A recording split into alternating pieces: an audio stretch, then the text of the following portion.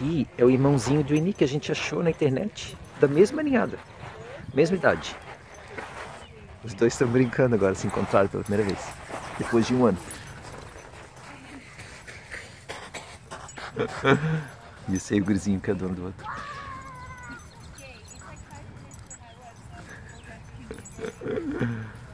Que legal.